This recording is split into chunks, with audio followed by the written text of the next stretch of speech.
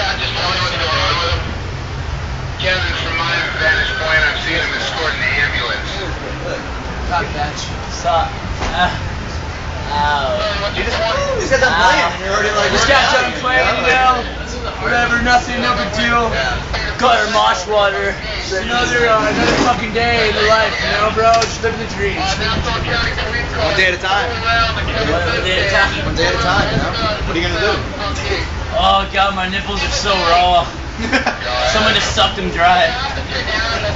This is the worst video you've Alright, Buzz, cool.